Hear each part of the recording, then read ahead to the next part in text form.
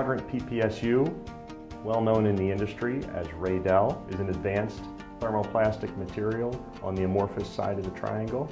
Uh, it's a material that's uh, widely utilized in the medical industry, life science, biotechnical industry.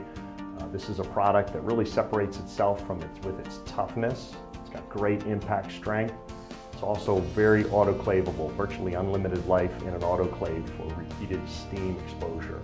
Quadrant PPSU comes in a variety of colors. Those colors are often utilized uh, throughout the medical industry uh, for size identification. It's used for instrument handles, surgical tools, even in the orthopedic implant uh, as a surgical trial.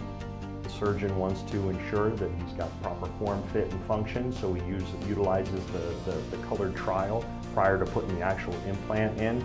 Quadrant PPSU material is a high temperature product that withstands that steam exposure, maintains its toughness, maintains color. We developed a whole portfolio of life science grade products where we separated ourselves via the biocompatibility testing that we actually do on the stock shape.